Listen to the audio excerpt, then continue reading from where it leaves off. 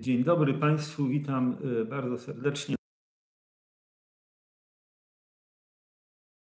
Przestaliśmy Pana słyszeć, ja przynajmniej. To jeszcze raz. O, teraz. Więc jeszcze raz, proszę Państwa, witam serdecznie na piątym wykładzie z cyklu Wizje Nowej Energetyki. Szczególnie gorąco witam naszego dzisiejszego gościa, którym jest pani e, dr Joanna Maćkowiak-Pandera. E, w ramach cyklu e, Wizje Nowej Energetyki wybitne osobistości polskiej energetyki analizują i interpretują kierunki transformacji oraz przedstawiają wynikające z nich osobiste rekomendacje dla niezbędnych działań. No to oczywiście temat jest szczególnie istotny w obliczu rozchwiania porządku energetycznego w Europie i na e, Polsce i na świecie, e, spowodowanego oczywiście agresją Rosji na Ukrainę, ale też konsekwencjami pandemii, no i innymi przyczynami. E, w efekcie nastąpiło przerwanie łańcuchów kooperacji i dostaw na świecie, co ma swoje konsekwencje. Więc y, mamy y, potencjalnie y, największy od dziesięcioleci kryzys energetyczny. Zadajmy sobie jednak pytanie, czy ten obecny kryzys, tak jak na przykład kryzys lat 70., nie stwarza szansy na przyspieszenie procesów transformacyjnych. I takie pytania zadajemy naszym kolejnym gościom. Jeśli jest szansa na przyspieszenie tych procesów, jaki powinien być pożądany kształt transformacji energetycznej. W szczególności, jaki powinien być y, kształt polskiego systemu energetycznego, jakie działania są niezbędne, y, by ten kształt osiągnąć. Przypomnę, że kolejne wykłady y, y, w ramach cyklu wygłosili już profesor Jan Popczyk, dr Michał Kurtyka, minister Ireneusz Zyska, prezes Grzegorz Onichimowski, a dzisiaj mamy zaszczyt wysłuchać wystąpienia pani dr Joanny Maćkowiak-Pandery. Y, pozwólcie Państwo, że zanim oddam głos naszemu gościowi, przedstawię Właściwie przypomnę informację o projekcie Cluster, w ramach którego odbywa się dzisiejsze spotkanie udostępnię slajdy. Proszę Państwa, e, e, projekt e, rozwój energetyki rozproszonej w klastrach energii, w ramach którego odbywa się dzisiejszy wykład, jest realizowany w ramach pierwszego konkursu NCBR Tytułem, y, y, y, tytuł tego konkursu, no w skrócie Gospostratek. Projekt realizuje konsorcjum naukowe, którego liderem jest Ministerstwo Rozwoju i Technologii. W skład konsorcjum wchodzą Akademia Górniczo-Hutnicza, Narodowe Centrum Badań Jądrowych. Pracami konsorcjum kieruje Rada Konsorcjum, której przewodniczącym jest pan minister Ireneusz Zyska. Celem projektu, takim głównym celem projektu jest wypracowanie strategii rozwijania klastrów energii w Polsce. No i zbliżamy się powoli do e, już wypracowania tej strategii. E, planujemy, że jutro rozpoczną się konsultacje publiczne, które będą trwały do 28 października. E, szczegóły będą dostępne jutro na portalu energetyka rozproszona.pl. Oprócz y, prac nad strategią, y, inne kluczowe działania to budowa sieci kompetencji do spraw energetyki rozproszonej jako instytucji integrującej środowiska zaangażowane w rozwój energetyki rozproszonej oraz wypracowanie, promocja rozwiązań, y, które mogą pomóc w rozwijaniu klastrów energii i innych lokalnych inicjatyw energetycznych. Właśnie tu może jeszcze tylko jedna uwaga. Tytuł projektu odnosił się do klastrów energii, ale y, było to kilka lat temu y, w trakcie prac nad y, projektem. Okazało się, że właściwie wszyscy nabrali przekonania, że należy podejść szerzej do tematu i stąd jest mowa o strategii nie rozwijania klastrów energii w Polsce, ale strategii rozwoju energetyki rozproszonej w Polsce. Kilka słów o sieci kompetencji do spraw energetyki rozproszonej.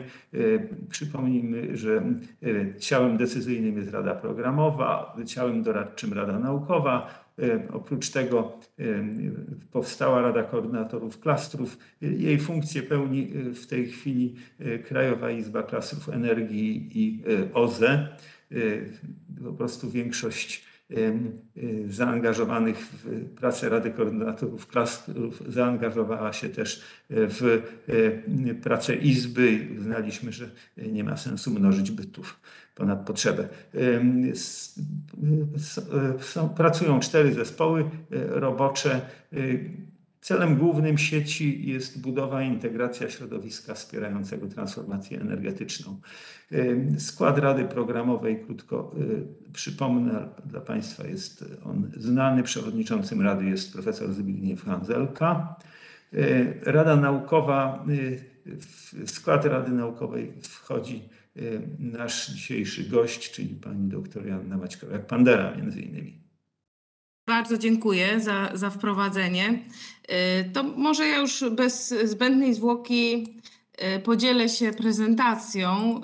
Mam nadzieję, że widać. Widać prezentację dobrze? No właśnie, o jest tryb pełnoekranowy, więc w ogóle chciałam podziękować za zaproszenie i, i jest mi miło, że możemy dzisiaj, chociaż temat jest dosyć poważny, porozmawiać o, o kryzysie energetycznym i tym, jak można go pokonać. Tak umówiłam się z, z panem doktorem Kopeciem, że właśnie o tym możemy dzisiaj porozmawiać. Ja bardzo liczę też na, na dyskusję i jak też krytykę, zgłoszenie swoich punktów, no bo o tym, że sytuacja jest bardzo trudna, no to wszyscy już wiemy, media bardzo alarmują informują o wzrostach cen, o wzrostach, o inflacji, o tym, że brakuje węgla, są problemy z gazem. Słucham?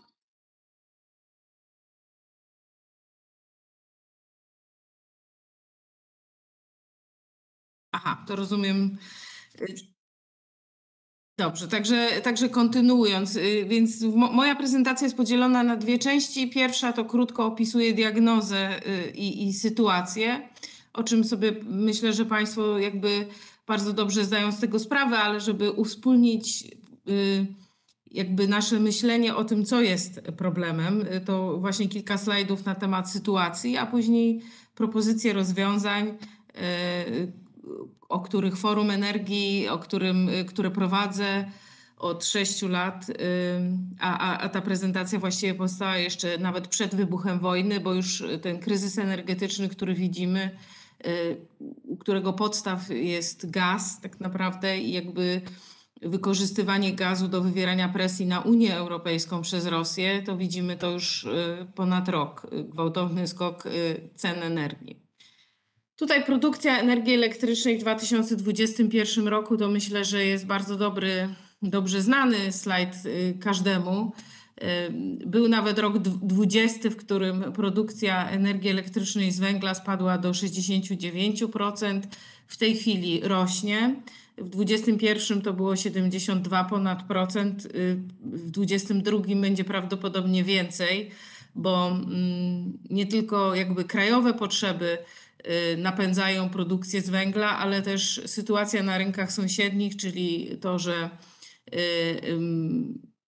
energetyka gazowa właśnie jest bardzo droga w okolicznych krajach, jednocześnie, czyli na przykład w Niemczech, w Czechach te ceny energii elektrycznej są bardzo wysokie. No i my po raz pierwszy od wielu lat zaczęliśmy eksportować energię elektryczną, zużywając zresztą własne zasoby węgla i te wielkie zapasy, które mieliśmy, jeszcze niedawno mówiliśmy o ogromnych zapasach węgla, my je teraz jakby spaliliśmy i one są rekordowo niskie.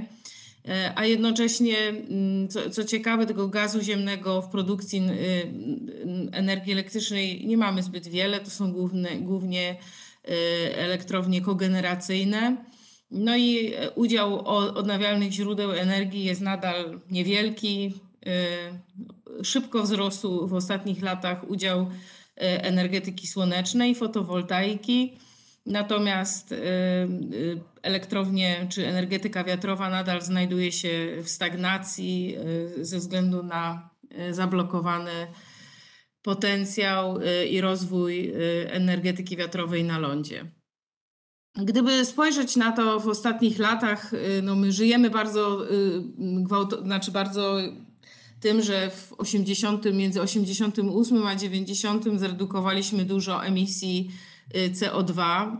To, no to był głównie efekt tak naprawdę upadku części przemysłu w Polsce w związku z z przechodzeniem na inny model y, gospodarczy. W tej chwili widzimy, że te spadki emisji w stosunku do tych zobowiązań i, i tego y, pilności redukowania emisji w związku y, z kryzysem klimatycznym nie, nie jest zbyt duży. Od 90 roku 25% zredukowaliśmy emisji, gazy cieplarniane. W ciepłownictwie to było znacząco więcej, chociaż też w ostatnich latach, czyli od tego 2005 roku, gdzie Unia Europejska się już stricte rozlicza według wspólnej metodyki, te spadki e, emisji nie są, nie są zbyt duże. O, a tutaj troszeczkę się te napisy, przepraszam, ale z, z, z, gdzieś jakoś tak połączyły, no ale tutaj w każdym razie emisyjność produkcji energii elektrycznej to jest też taki dosyć popularny slajd, który jest powszechnie znany. Jedynie Estonia jest krajem w Unii Europejskiej y, y, bardziej emitującym od nas. Y, czerwony, czerwona kolumna to jest Polska, szara kolumna to jest średnia unijna. Emisyjność produkcji energii elektrycznej ma przełożenie na to, na, jakby na ślad węglowy naszych produktów, co jest bardzo istotne, bo od przyszłego roku taki, y, są takie projekty, y, regulacje, które będą y, zmuszały wytwórców przemysłowych do podawania emisyjności produktów, które znajdują się w obrocie. I to handlowym w Unii Europejskiej i na świecie tak naprawdę, więc jakby ta informacja o tym, że że towary produkowane w Polsce y, wiążą się z produkcją też, czy, czy z emisją dużych ilości y, y, um, emisji CO2, będzie dużym obciążeniem i będzie mogła powodować wypadanie z łańcuchów dostaw tych produktów, które powstają na terenie Polski. To dotyczy głównie w tej chwili tak naprawdę wielkich koncernów globalnych Y, przemysł samochodowy, y, czy, czy cement, stal, y, czyli takie produkty, które rzeczywiście mm, gdzieś znajdują się, są bardzo globalne. U nas firmy, to, to nie jest jeszcze tak duży temat i w ogóle uważam, że mało kto o tym wie i, i niewiele osób to zauważa, natomiast to się może rzeczywiście w krótkim czasie bardzo zemścić. I dlatego zresztą przemysł jest w tej chwili bardzo zainteresowany rozwojem y, źródeł odnawialnych w ramach. Tak kontraktów PPA, czyli Power Purchase Agreement, y, właśnie po to, żeby zazielenić, zmniejszyć ślad węglowy swojej produkcji. To jest jedna z przyczyn y, i to jest ogromna presja, ale druga oczywiście przyczyna to jest ograniczenie kosztów tych właśnie wzrostów cen, które widzimy. No bo jakie są wzrosty cen gazu w tej chwili, no to, to, to też powszechnie wiemy w zależności od y, platformy handlowej to są, y, no, to są jakby absolutnie bezprecedensowe y, wzrosty, co ma wpływ na naszą strategię, dlatego że Polska, która gdzieś już się pogodziła z tym, że musimy transformować sektor energetyczny, w dużym stopniu zakładaliśmy, że to właśnie Y, gaz będzie tym y, surowcem, który nam pomoże odejść od węgla. Zresztą po to y, dywersyfikowaliśmy źródła naszych dostaw gazu, budowaliśmy Baltic Pipe, żeby nie było tego argumentu, że właśnie uzależniamy się od rosyjskiego gazu. No, od tego roku działa już trzy tygodnie temu został, czy dwa tygodnie temu uruchomiony rurociąg Baltic Pipe i po to właśnie go budowaliśmy, żeby, żeby móc y, jednak w jakimś stopniu zwiększać udział y, gazu w naszym miksie, zwłaszcza, że, mm, że jakby on w porównaniu z, y, z, ze zużyciem w innych krajach Unii Europejskiej jest relatywnie niski.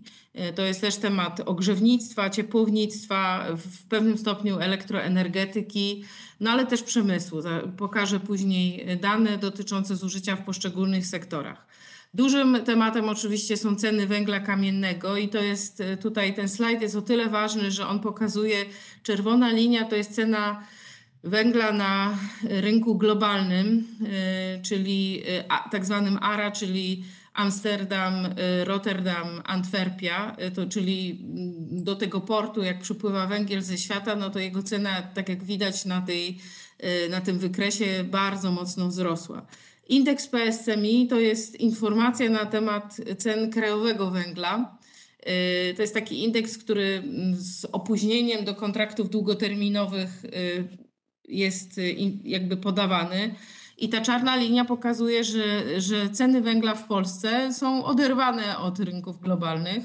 M, Głównie dlatego, że były zawierane w czasach, kiedy mm, przez y, elektrownie z kopalniami, w czasach, kiedy ten węgiel y, w Polsce był droższy niż y, na świecie. On, te, te kontrakty były też są oparte na y, takich realiach ekonomicznych. W dużym stopniu to były koszty proponowane przez kopalnie, które no, miały zapewnić jakąś minimalną rentowność funkcjonowania kopalń.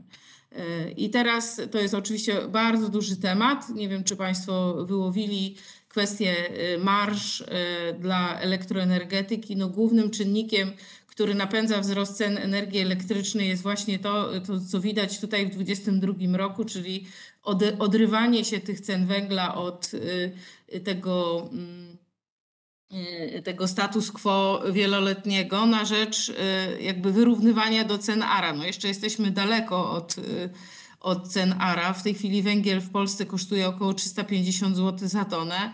Y, Na rynku globalnym to jest y, około 1800 zł y, za tonę, więc no ale bardzo kopalnie by chciały, żeby ta cena się zbliżyła do ceny globalnej i dlatego spółki energetyczne w tych kontraktach terminowych na kolejny rok w dużym stopniu podnoszą koszty energii elektrycznej, bo nie wiedzą po ile ten węgiel w przyszłym roku kupią. I to właśnie napędza taki rajd cenowy, y, mm, wzrost, wzrost cen energii elektrycznej. Y, Mimo, że jesteśmy, y, że, że właśnie no, były bardzo alarmujące dane o tych kontraktach na przyszły rok y, 2700 zł za megawattogodzinę, to nadal te ceny energii elektrycznej w Polsce są relatywnie niskie, no bo my nie mamy zbyt wiele gazu w naszym miksie. Dalej jednostki węglowe wyznaczają cenę. Y, Ceny uprawnień do emisji CO2 spadły w ostatnim czasie i kształtują się teraz na poziomie około 70 euro za tonę. Y, No i to, to jest wielki temat. y, Właśnie jak kształtuje się w tej chwili cena w stosunku do tego, co się dzieje w, w Niemczech, w Szwecji, w Czechach, czyli tam, gdzie mamy połączenia transgraniczne.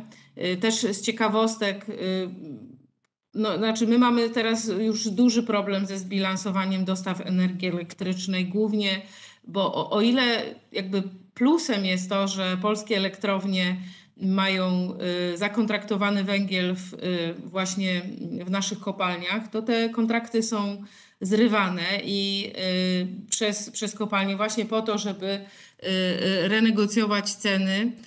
Y, No i to właśnie mm, powoduje problemy z, z, w ogóle z dostawami węgla, czyli nawet jeśli teoretycznie polska sytuacja polskiej energetyki jest y, relatywnie dobra, no bo na pewno w porównaniu z Niemcami, gdzie y, y, wszyscy drżą, czy rzeczywiście system się nie wywróci latem, zimą w, w dużym stopniu ze względu na, na sytuację gazową, chociaż w tej chwili magazyny są gazu w Unii Europejskiej są mm, wypełnione y, właściwie niemal, niemal w 100%, ale to jest duży stres, no to my teoretycznie śpimy spokojnie, natomiast okazuje się, że tego węgla y, zaczyna brakować i elektrownie są wyłączane y, y, interwencyjnie ze względu właśnie na, no, na braki węgla. No i to powoduje y, znowu osta- w ostatnim czasie coraz większy import, y, bo właśnie przepaliliśmy te nasze rezerwy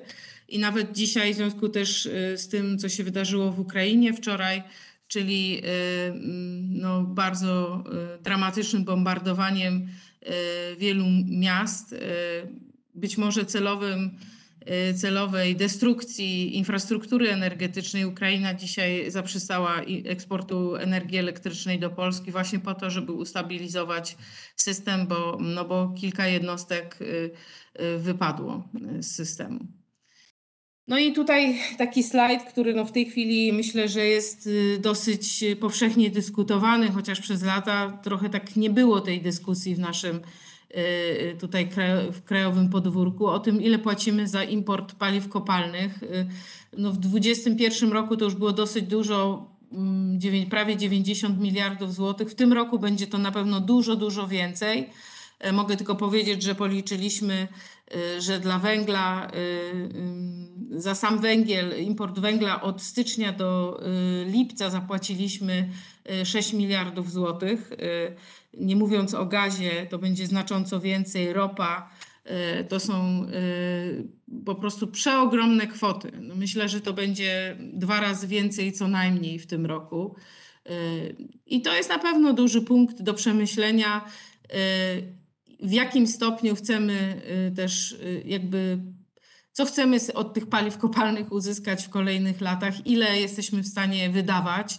Moim zdaniem po tym, co się wydarzyło i do czego się posunęła Rosja, czyli wykorzystywanie paliw kopalnych jako broni de facto i wywieranie nacisku, to przesunęła się pewna granica bólu, która będzie do tej po, będzie po prostu y, regularnie wykorzystywana. Y, Te rynki będą coraz bardziej wrażliwe na różnego rodzaju spekulacje też y, nie tylko ze względu na jakby taką market power y, y, różnych firm energetycznych, ale po prostu też panikę, która w dużym stopniu y, to jak działają media, social media i, i właśnie nakręcanie się paniki, które przekłada się później na fizyczne niedobory i na wzrosty cen. E, Więc to będzie na pewno bardzo duży temat i w, jest to zupełnie nowy temat w Unii Europejskiej, dlatego że rzeczywiście y, ta niezależność energetyczna była gdzieś y, bardzo szczątkowo traktowana przez wiele krajów y, unijnych. A, a w sumie u nas też nie do końca, bo w gazie może zrobiliśmy rzeczywiście dobrą robotę, ale z drugiej strony, jeśli chodzi o węgiel, doprowadziliśmy do sytuacji, że gospodarstwa domowe w pełni są uzależnione od rosyjskiego węgla. I no i teraz mamy te problemy właśnie ze zbilansowaniem dostaw, które widać. Tu jest jeszcze ostatni slajd już y, po stronie diagnozy, ale muszę powiedzieć, że mnie to dosyć zszokowało, jak to w zeszłym roku odkryliśmy taki raport Ministerstwa Klimatu i Środowiska. To jest taki dwuroczny raport, który jest y, regularnie przygotowywany, który pokazuje perspektywy rozwoju systemu energetycznego w kontekście ryzyka wystąpienia niezbilansowania mocy. No i właściwie z tego raportu y, wynika y, tak po prostu czarno na białym, że my zmierzamy w stronę ogromnego deficytu mocy, który y, w 1935 roku to jest scenariusz y, jakby najbardziej dramatyczny, w sensie ekstremalny, bo tam są chyba trzy scenariusze podane, albo dwa, już teraz nie pamiętam, ale może wynieść y, 200 dni niezbilansowania, czyli w zasadzie połowa roku, przez połowę roku w 35 możemy mieć problem z niezbilansowaniem y, dostaw energii elektrycznej, jeżeli nie zaczniemy uzupełniać y, brakujących mocy. My w tej chwili jakby wiemy, że ten nasz sektor energetyczny, y, poszczególne jednostki y, wypadają, są bardzo wiekowe, mają 50-60 lat. Y, Teraz robimy taką analizę właśnie dla słynnych dwusetek. To są naprawdę stare jednostki, w dużym stopniu niedofinansowane przez, przez lata. I on, ich jakby one, one się wyłączają. W tym roku też będą wyłączone chyba trzy, trzy dwusetki. E, I, I kolejne bloki wypadają, natomiast my nie uzupełniamy budowy y, nowych mocy i to właśnie powoduje, a, a mimo to zapotrzebowanie na energię elektryczną nadal y, rośnie. To jest pytanie oczywiście, jak będzie kryzys oddziaływał na zużycie energii elektrycznej. Y, No trudno czekać na kryzys jako metodę redukcji zapotrzebowania, oby się to nie wydarzyło. Y, Natomiast no, będziemy mieli znaczący problem ze zbilansowaniem mocy, zwłaszcza po 2025 roku, kiedy przestanie działać rynek mocy i jakby ta y, fala wyłączeń, y, odstawień elektrowni węglowych ze względów ekonomicznych będzie tylko przyrastać. Więc y, to jest diagnoza. Nie wiem, czy tutaj są jakieś pytania. Ja niestety nie widzę czatu, ale mm, jeżeli. Na Albo- chwilę obecną jeszcze nie mamy pytań, ale zachęcamy ma do ich zadawania na czacie. Tak, ja bardzo, bardzo bym chciała, żeby to się jednak stało jakąś taką dyskusją bardziej, e, bo ja ze swojej strony tą prezentację traktuję bardziej jako propozycję i też chę- z chęcią wysłucham, co pan, Państwo mają do, do powiedzenia i zaproponowania. E, Ale to może w tej części ostatniej, jak już e, dobrniemy do, do końca prezentacji. Myślę, że to jeszcze jakieś 10-15 minut e, i, mm, i będziemy gotowi do dyskusji. No i e, właśnie tą prezentację y, stworzyliśmy w grudniu ubiegłego roku już, widząc co się dzieje po stronie y, y, właśnie w sektorze gazowym, że stopniowo rośnie to ryzyko y, związane z, ze wzrostem cen. Zaproponowaliśmy takie 10 kroków. Taki zrobiliśmy sobie krok do tyłu, y, też w gronie różnych ekspertów, nie tylko z forum, ale y, y, takich, z którymi współpracujemy. Zrobiliśmy krok do tyłu i zastanawialiśmy się, jak można na nowo zacząć układać tą naszą energetykę. mm, Jak powinniśmy do niej podejść? Jesteśmy piątym największym krajem w Unii Europejskiej który nie może sobie pozwolić na całkowitą degradację wytwarzania w naszym kraju. Nie ma takiego kraju też, a już teraz to widać tym bardziej, na którym byśmy mogli się, się oprzeć, jeśli chodzi o wytwarzanie. Są takie małe kraje na Bałkanach czy, czy y, kraje bałtyckie, które no, no nie mają własnego wytwarzania, ale mając, nie wiem, 3 miliony mieszkańców czy 4, e, można sobie na to pozwolić i odpowiednią lokalizację też jakieś silne demokratyczne kraje dookoła. No ale my musimy sami budować i zadbać o naszą energetykę. I wydaje się, że to jest jedno z, z największych y, znaków zapytania i y, takich obciążeń dla Polski, które będą, y, a już w tej chwili to, co się dzieje, o, o czym my pisaliśmy czy ostrzegaliśmy lata temu, sytuacja w ciepłownictwie, wzrost cen, no to się, to się właśnie dzieje. I dlatego Dlatego właśnie mamy w tej chwili yy, właśnie te 10 kroków chciałam yy, za, zaproponować i yy, pierwszy, pierwszy krok to jest wzmocnienie planowania procesów decyzyjnych. To, o czym, yy, co widzimy, no to jest ogromne upolitycznienie w tej chwili decyzji, które są podejmowane w sektorze energetycznym. Yy, No, Pewnie to jest też w jakimś stopniu normalne, że, że władza skupia się też na utrzymaniu e, władzy, a nie na, niekoniecznie na długoterminowej perspektywie e, sektora energetycznego czy odbiorców w Polsce. E, Oczywiście też te różne zdarzenia są tak, dzieją się tak szybko i tak są niespodziewane, że, że właściwie brakuje też wiedzy czasami, co można zrobić w tak krótkim czasie. Dlatego my rekomendujemy, żeby właściwie takim wzorem e, innych krajów, jak na przykład Francja, e, teraz Niemcy, Wielka Brytania, powołać ekspercką wielostronną komisję do spraw energii, po to, żeby mm, rząd mógł też uniknąć ataków w sytuacji, kiedy musi podejmować decyzje czasami trochę mniej popularne ale właśnie tłumaczyć e, jednak ich konieczność e, związaną właśnie z troszeczkę dłuższą perspektywą niż kolejne wybory. E, Więc to jest pierwszy element. Drugi element no to to, że musimy mieć jasne cele w energetyce postawione, dotyczące chociażby rozwoju nowych mocy, ale też redukcji emisji, no bo gdzieś to odchodzenie od paliw kopalnych y, wiąże się z polityką klimatyczną i w zasadzie no, jest duża krytyka w tej chwili w Polsce, że wszystko to, co się dzieje, to jest właśnie przez politykę klimatyczną.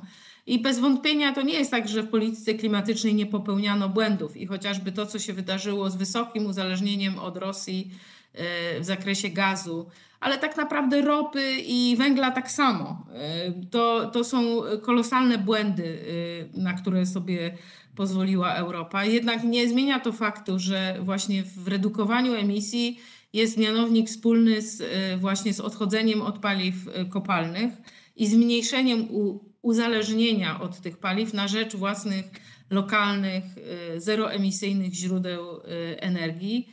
E, No, głównie odnawialnych źródeł y, być może atomu, chociaż to jest wielki temat i do tego zaraz wrócę. To y, trzeci element tego wzmocnienia planowania i procesów decyzyjnych to jest reforma y, instytucji w ogóle wdrażających. No, ja też kiedyś pracowałam w administracji centralnej i widzę, że od lat tam y, problemem jest y, po pierwsze zatrzymywanie wiedzy. Y, Jest po prostu ogromna rotacja y, na tych stanowiskach y, eksperckich. Y, I to jest jeden element. Drugi element jest taki, że właściwie nie ma żadnego rozwoju kadr, y, biorąc pod uwagę, nie wiem, właściwie mamy struktury, które powstały w latach 90., gdzie ten temat był absolutnie niszowy, energetyka była traktowana jako y, branża sterowana przez samą energetykę y, i energetycy sami sobie i nie było żadnych y, jakby takich y, interakcji z, y, z innymi y, elementami polityki y, gospodarczej. A w tej chwili widać, że to się wszystko zazębia i do tego potrzebne są zasoby ludzkie no i, i instytucje, które są do tego przygotowane. Na pewno trzeba wzmocnić URE, Urząd Regulacji Energetyki, bo nawet w sytuacji, kiedy widać to, co się dzieje y, z odbiorcami, czy jak, jak rosną marże, jak też nie panujemy nad, nad wzrostami cen, bo w takim y, kurzu, zasłonie dymnej jest bardzo łatwo powiedzieć, że to dlatego tak rosną ceny, a i tak są niższe przecież w Polsce niż w Niemczech. No owszem, ale w Niemczech są fundamentalne czynniki, jak chociażby ceny gazu, które powodują, że te ceny energii mogą być takie wysokie. W Polsce to nie jest e, tak, że, że te ceny muszą być takie jak w Niemczech albo, albo we Francji, gdzie połowa elektrowni jądrowych w tej chwili nie działa, więc e, to jest pierwszy krok. Drugi krok to jest wydzielenie aktywów węglowych. To się w Polsce w tej chwili toczy. My mamy, znaczy ja uważam, że to się nie, nie, nie dzieje w taki sposób, który by jakby sam krok jest słuszny wydzielenia aktywów węglowych, bo spółki energetyczne rzeczywiście nie będą w stanie y, prowadzić inwestycji w, w czyste źródła, też banki nie finansują aktywów węglowych, y, więc ma to swoje głębokie uzasadnienie. Natomiast po pierwsze, y, jakby wydzielenie tych aktywów y, węglowych no, musi się odbywać y, na podstawie niezależnego audytu, który określi właśnie zasobność tych złóż i określi perspektywy ich wykorzystania. Na pewno nie można tworzyć takiego jednego tworu jak NABE, czyli Narodowa Agencja Bezpieczeństwa Energetycznego, która y, no, w całej sytuacji destrukcji rynku energii, który obserwujemy, jeszcze bardziej będzie działać w sposób scentralizowany y, i będzie y, właściwie sterować cenami energii w sposób dowolny, a jeszcze wobec y, faktu zniesienia obliga giełdowego, czyli obowiązkowego handlu y, energią na towarowej giełdy, e- giełdzie energii, to już w ogóle nie będzie wiadomo, jakie są, jak tworzona jest cena i jaka jest sytuacja w sektorze energetycznym. Także y, tu oczywiście też jest temat podzielenia się y, długiem, no bo mnie trochę bulwersuje ta dyskusja, że w sytuacji, kiedy widać, że aktywa węglowe przynoszą straty, to wrzucamy je na barki państwa, a jak widzimy, że sytuacja jest trochę lepsza i marże są wyższe, to spółki ener- energetyczne myślą sobie, no to jeszcze trochę dłużej pozarabiamy na tych aktywach. No, dla mnie to jest dyskusja, y, nie chcę się tutaj za bardzo rozciągać, ale jest to jakby absolutnie oderwana od jakiejś takiej sprawiedliwości społecznej, no i jakby wrzucenie na, na, na, na barki państwa czegoś, co jest z jednej strony jeszcze istotne i ważne, no bo nie można y, z dnia na dzień zrezygnować z wytwarzania w elektrowniach węglowych, ale będzie przynosić straty bez koncepcji, jak y, to ma dalej funkcjonować, jak długo, y, jakie będą koszty tego utrzymania elektrowni węglowych. Kontekście też, nie wiem, prawa Unii Europejskiej, czy, czy w ogóle rynku energii elektrycznej w Unii Europejskiej, który się kształtuje z mozołem od 30 lat, no to jest duża sprawa. Trzeci krok to jest strategia dla gazu, y, który y, moim zdaniem my mieliśmy wcześniej taką strategię y, indywidualnego podejścia do surowców, gdzie Przyjmowaliśmy, że węgiel to jest właśnie zasób nasz krajowy, nieograniczony, co teraz widać, jak to się nie sprawdza, biorąc pod uwagę sytuację na rynku y, węgla i, i problemów ze zbilansowaniem dostaw dla, dla gospodarstw domowych, ale też dla elektrowni. No ale też mamy strategię dla gazu. Ja wiem, że są w tej chwili to zużycie Zużycie e, gazu się kształtuje na poziomie 21 miliardów metrów sześciennych. W zeszłym roku dobiliśmy do takiego pułapu. E, pięć lat temu to było około 16 miliardów metrów sześciennych. W tej chwili ono gwałtownie spada. Głównie prawdopodobnie ze względów e, na ceny.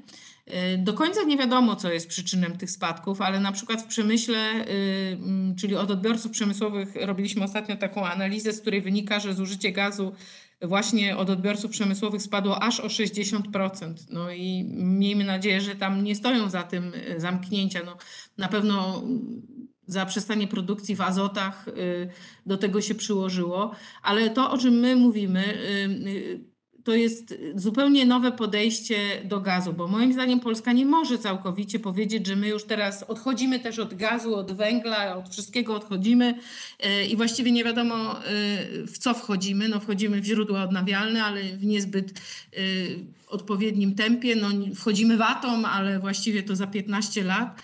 Y, no bo to, to po prostu jest strategia niebezpieczeństwa energetycznego, a nie bezpieczeństwa i dlatego musimy spojrzeć na całą gospodarkę i zużycie gazu w całej gospodarce i starać się wyrzucić ten gaz z tych sektorów, w których wiemy, że mamy technologię y, i, i dostępne rozwiązania, które y, pozwolą zaoszczędzić tego gazu dla innych sektorów, gdzie, gdzie będzie jeszcze nam w tej chwili trudno bez tego gazu się obejść. I na pewno takim sektorem, gdzie można odchodzić od gazu, to są gospodarstwa domowe, e, bo, e, bo tutaj e, są technologie, chociażby pompy ciepła, elektryfikacja, nie wiem, udział nawet biomasy w jakichś wyjątkowych przypadkach, który które mogłyby pozwolić zaoszczędzić ten gaz. Pewnie w ciepłownictwie systemowym trudno będzie w tej chwili całkowicie zrezygnować z gazu, również dlatego, że elektroenergetyka będzie potrzebowała elastycznych jednostek do bilansowania systemu w oparciu o zmienne źródła odnawialne. No, w przemysł, w niektórych działach przemysłu na pewno ograniczenie gazu jest możliwe, ale Gaz jest używany w procesach technologicznych, na przykład y, y, do produkcji stali, gdzie w tym momencie będzie trudno powiedzieć, że, bo to jest, się wiąże nie tylko ze zmianą modelu wytwarzania energii elektrycznej, ale y, całego procesu technologicznego. Teoretycznie przyszłością jest zielony gaz, ale myślę, że to jeszcze kilka lat, chociaż mm, to, co się w tej chwili też zmienia, to koszty wytwarzania tych różnych technologii, które zielony gaz jeszcze niedawno się wydawał całkowicie niekonkurencyjny i bardzo drogi, a teraz się okaże, że y, może się on bardzo szybko rozwijać.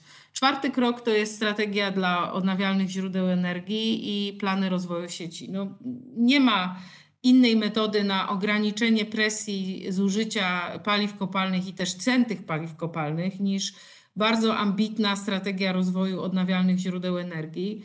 50% to są takie dane bardziej z ubiegłego roku. Moim zdaniem w tej chwili to musi być więcej. Właściwie 50% rząd deklaruje, że jest w tej chwili, e, że my zmierzamy w stronę takiego celu w 30 roku, ale, ale dalej mamy jakiś taki, jakbyśmy nie widzieli tych źródeł odnawialnych jako realnej opcji, która nam może pomóc e, w tej sytuacji, która jest. I to, y, to jest y, po prostu no, duże wyzwanie. Na pewno oczywiście też problemem są, są kwestie sieci, no bo to jest taki wielki słoń w pokoju. My cały czas od operatorów spółek dystrybucyjnych nie do końca stawiamy im cele w zakresie rozwoju sieci.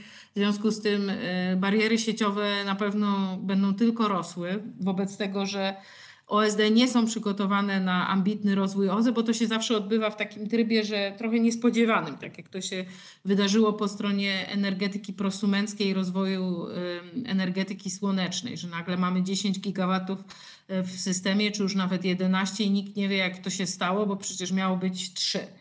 Y, to skąd 10?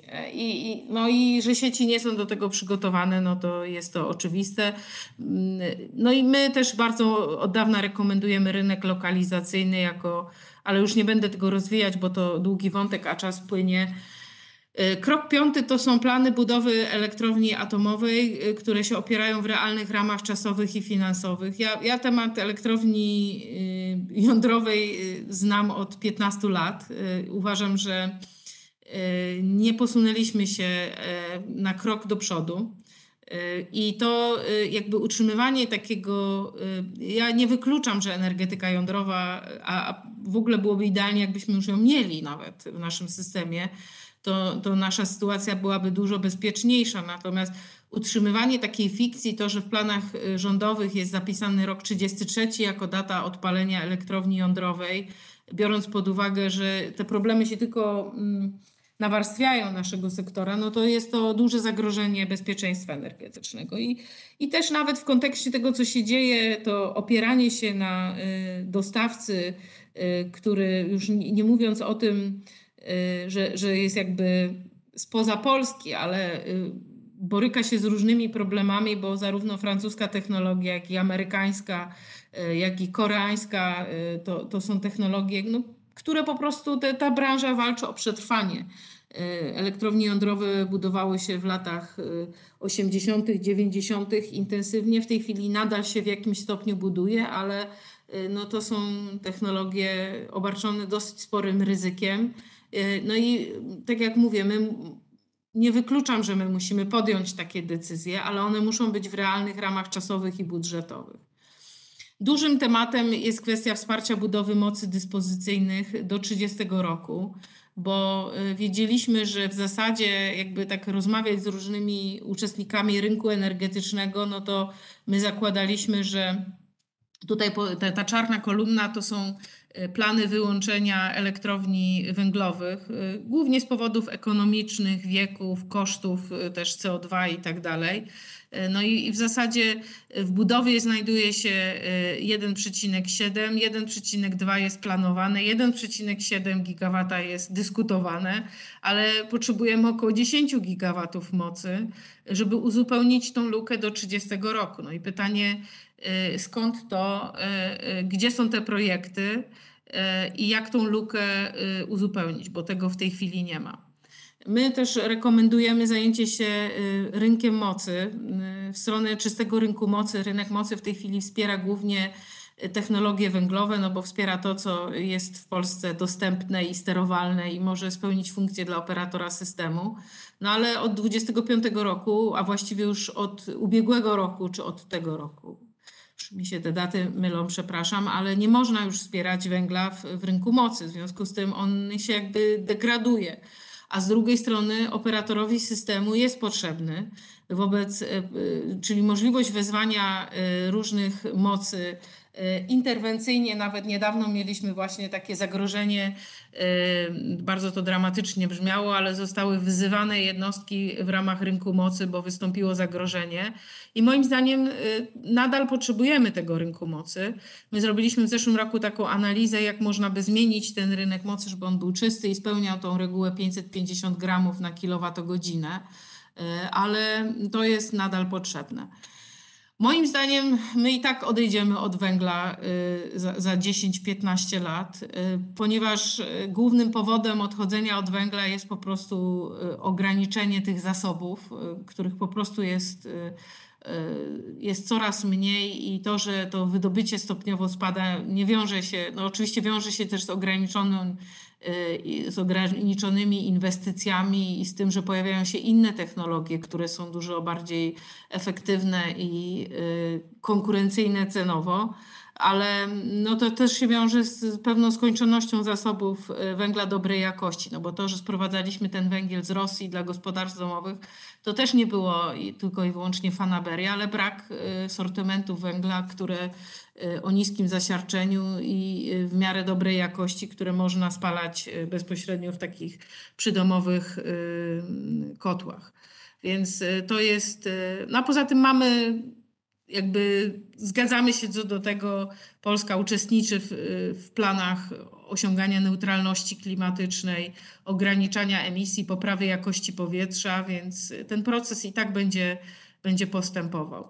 Później dziewiąty krok, y, to też już nie będę się tutaj za bardzo y, rozwodzić, ale to jest zwiększenie elastyczności systemu energetycznego, bo w dużym stopniu ten rynek energii, no poza tym, że on już przestaje istnieć w tej chwili, e, to y, jest dostosowany do pracy dużych, ogromnych jednostek. My musimy zwiększać przede wszystkim elastyczność tego systemu energetycznego, żeby dostosowywać się do pracy odnawialnych źródeł energii. Więc, e, i, ale też dostosowywać się do tych zmian, które zachodzą, czyli tego, że pojawiają się samochody elektryczne, które też i obciążeniem są dla sieci, ale też dostarczają pewnej możliwości aktywnego uczestnictwa w bilansowaniu. To jest też kwestia pomp ciepła, które no, jesteśmy teraz najbardziej rekordowym rynkiem, trzecim naj, na świecie, gdzie pompy ciepła rozwijają się najszybciej. Trzeba myśleć o tym, jak je włączać w system energetyczny, żeby one jednak w jakimś stopniu przynajmniej współpracowały, żeby nie dociążały y, szczytu zimowego, jak y, tylko była możliwość przesuwania tego y, zużycia poza, poza okresy szczytowe. No i samo też dostosowanie elektrowni węglowych do tego, tam jest właśnie chyba padło nawet pytanie o, o, o jednostki 200. Plus. Ja mogę zaraz się do tego odnieść, bo trochę właśnie też nad tym pracujemy teraz. Ale wiele takich działań i związanych z DSR-em, czyli Demand Side Response, czyli redukcją zapotrzebowania na popyt, taryfy dynamiczne, moim zdaniem będziemy musieli zmienić w ogóle radykalnie taryfy w najbliższym czasie bo nie da się tak dopłacać e, do wszystkiego poza taryfami, bo to będzie tylko nakręcać inflację. No i później cała reforma systemu finansowania. Teoretycznie mamy dużo pieniędzy dostępnych w funduszach unijnych. Niestety KPO nadal jest zablokowany ze względów politycznych. E, jest to ogromna szkoda, bo uważam, że mm, moglibyśmy stworzyć naprawdę duży projekt modernizacji energetyki w Polsce i też wsparcia gospodarstw domowych, poprawy jakości powietrza. No ale mm, oprócz tego sugestia nasza jest taka, żeby w ogóle zacząć inaczej myśleć o sposobie finansowania inwestycji, bo też Narodowy Fundusz Ochrony Środowiska jest to instytucja, która powstała w latach 90. i to była rzeczywiście wielka sprawa wtedy, a w tej chwili y, musimy y, działać na, na, na dużo większą skalę, mamy dużo mniej, mniejszych projektów, moim zdaniem trzeba zaangażować samorządy w działanie. Teraz też ta dyskusja o dystrybucji węgla pokazuje, że samorządy mają bardzo konkretną rolę do odegrania w dostarczeniu właśnie energii elektrycznej, cieplnej, zaopatrzeniu y, właśnie mieszkańców, więc nad tym trzeba już teraz pracować. No i dziękuję bardzo, bo to, to wszystko e, z mojej strony. I zaraz zatrzymam udostępnianie i mam nadzieję, że będą jakieś pytania.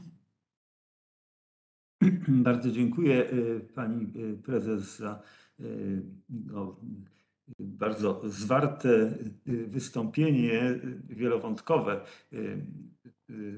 Pojawiają się pierwsze pytania na czacie. I równo 45 minut chyba było, prawda? Tak, tak. Wszystko Bo troszeczkę tam mieliśmy y, przesunięcie na początku, ale to w każdym razie. Tak, ale jakoś się udało. Jeszcze raz przepraszam za problemy techniczne. Niespodziewanie straciłem dostęp do internetu, ale, ale już y, udało się przywrócić. Na początek y, przejdziemy do pytań na czacie. Pani wspomniała już o, o tym pierwszym pytaniu. Pan Paweł Wysocki pyta, w którym kierunku zmierza analiza dotycząca modernizacji bloków 200 MW, wdrożenia programu Bloki Plus, czy może również konwersji na OZE? To znaczy, w, Rozumiem, że nie, nie, nie wiem, czy mówimy o naszej analizie, czy bardziej y, analizie rządu, bo y, no to jest rzeczywiście projekt, taki był projekt NCBIR-u w 2017 roku, który opierał się na uelastycznieniu jednostek węglowych. Y, no tam były różne parametry i to, to były tam, nie wiem, jeden projekt, który wspierał chyba trzy różne rozwiązania dla różnych bloków, więc wtedy testowano rozwiązania. No ale ewidentnie to chodziło o wykorzystanie dalej węgla, tylko y, y, węgla kamiennego y, w parametrach dużo wyższych, no bo tam i minima techniczne, no jakby w ogóle uelastycznienia pracy tych bloków, bo jakby koncepcja była taka, jak ja to rozumiem, czy założenia tego programu były takie, że te bloki no to są te najstarsze. Pamiętajmy, że one rzeczywiście były budowane w latach 60., od 61 roku. E, ich jeszcze niedawno chyba było 54. W tej chwili ta liczba stopniowo maleje, jest ich chyba 47. I one tak po prostu sobie wypadają, tak krok po kroku. Jak obserwujemy te plany wyłączenia, no to ich ilość maleje. Natomiast, e, no i teraz e, w zasadzie to jest dobre pytanie, co jeszcze można, bo, bo słyszymy o tym, że 200 plus, trzeba teraz rozpocząć program 200 plus i on nas uratuje. No i my się właśnie tak staraliśmy zastanowić, teraz mówię o naszej analizie, bo moim zdaniem rządowych planów ja nie znam. To znaczy ja w ogóle nie widzę dyskusji o tym, co można zrobić z rynkiem mocy, co można w ogóle zrobić po 2025 roku. Moim zdaniem wszyscy się zajmują w tej chwili perspektywą najbliższej zimy i nikt nie myśli o tym, co będzie za 3 lata. E, więc e, po prostu, a będzie, no, no a, a później jakby czas będzie na tyle krótki, że będzie bardzo trudno przeprowadzić e, przede wszystkim inwestycje, które byłyby potrzebne. No a, a teraz my, my w naszym tej, tej, tym rozważaniu też raczej nie zakładamy w tej chwili zwiększenia udziału gazu właśnie jeśli chodzi o konwersję tych dwusetek, dlatego że no, z, z, z tych względów, o które, które wspomniałam. E, jeżeli chodzi o rozwój gazu, no to są duże ograniczenia w obecnej sytuacji. Też e, moim zdaniem potrzebujemy kilku bardzo elastycznych jednostek gazowych do, do bilansowania, ale nie jestem pewna, czy to akurat dwusetki powinny być teraz zamieniane na gaz, czy raczej powinniśmy się zastanowić, jak je wydłużyć ich czas pracy o 5, powiedzmy 7 lat, powiedzmy do tego 30 roku, żeby właśnie pomóc y, rozwiązać ten problem z tego slajdu, w którym pokazałam ten brak mocy dyspozycyjnych. Czyli przy użyciu krajowego węgla, jak zaprojektować, y, jak zmodernizować te bloki, żeby one jeszcze były w stanie y, pomóc nam dotrwać do, do 30 roku. I to byłby nasz pomysł ale na pewno nie w liczbie 47 bloków. E, tylko powiedzmy, to jest właśnie dobre pytanie, ile z tego się jeszcze da wycisnąć, e, bo, bo część z tych bloków jest naprawdę już bardzo stara i w zasadzie one by wymagały mm, budowy od nowa niemalże. No więc to jest też pytanie o koszty. E, na pewno to, co my byśmy rekomendowali, to zrobienie takiego systemu, nie wiem, aukcyjnego konkursu dla tych jednostek, bo każda z nich jest inna. One to nie są równo, y, równe technologie i równe typy, więc po prostu przejrzenia, którym, które jednostki relatywnie tanim kosztem dałoby się jeszcze dostosować do, do pracy w systemie, ale moim zdaniem to będzie kilka gigawatów najwyżej. To nie będą jakieś wielkie moce.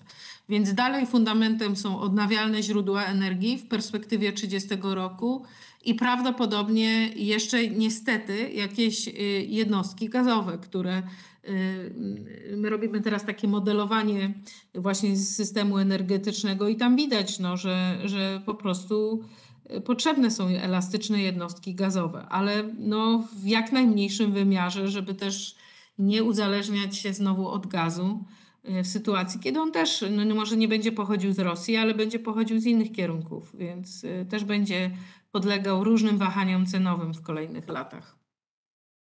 Tak, y, tutaj mam jeszcze y, w sprawie y, dwusetek uwagę pana Waldemara Szulca, kto został zaproszony do przygotowywania raportu i tak dalej. Oczywiście są to tematy szczegółowe i teraz nie sądzę, żeby był sens, żebyśmy ciągnęli akurat ten wątek, zwłaszcza, że ja nie mam informacji dokładnych, kto został zaproszony, ale, ale myślę, że do tego tematu warto wrócić.